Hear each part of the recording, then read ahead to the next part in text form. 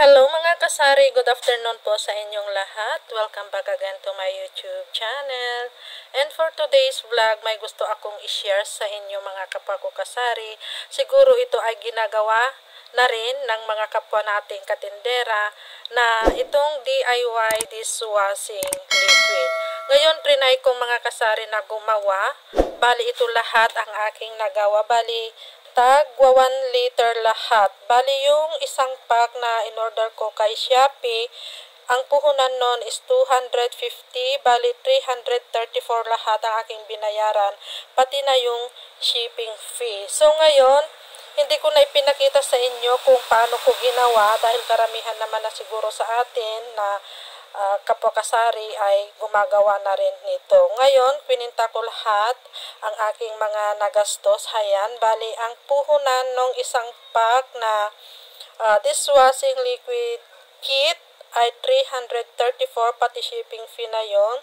Tapos itong ganito, yung ito, ayan, kumuha ako ng 50 pieces na ganito pero ang nagamit ko lang is for 16 pieces. Kasi yung uh, 15 liters na tubig, bali ang nagawa nun is 16 liters.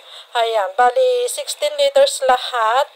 Ayan, uh, bali ang nagastos ko lahat kung susumain natin or tututalin natin ay ito mga kasari. Ayan, pininta ko na lang dito. Bali itong 334 is yung puhunan ng isang pack ng dishwashing liquid kit at yung 16 pieces na yung ganito, ayan, bali 16 lang. Bali, ang pumapatak na, pumapatak ng puhunan ng isang piraso is 3 pesos, so 48 lahat yon At itong bottles, 1 dozen, 154.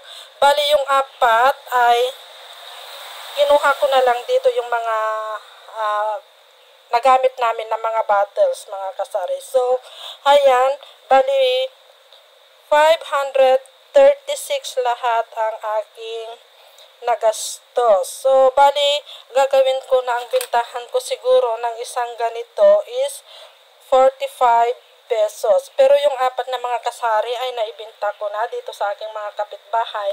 Kaya ito na lang yung natira at lalagyan ko na rin ng ganito. Bali yung apat na naibinta ko ay hindi na ako naglagay ng label, mga kasari. So, siguro gagawin ko ito ng bintahan ko ng isang bottle is 45 pesos. Total eh, mabilin din naman sa akin ang dishwashing liquid. So, dito lang siguro sa mga kapitbahay, ayan, ayan ay mabebenta ko na ito mga kasari. Yung apat na nga habang ako ay naglalagay sa bottles ay kinukuha na nila mga kasari. So, yan lang mga kapako kasari ang aking may share na naman sa inyo. Nakaka-proud naman kasi kaysa naman bumili pa tayo, ipwede naman pala na tayo na lang ang gagawa para medyo malaki-laki din naman ng konti yung ating kikitain. So, yan lang. Happy selling na lang sa ating lahat. Thank you for watching and God bless us. Bye!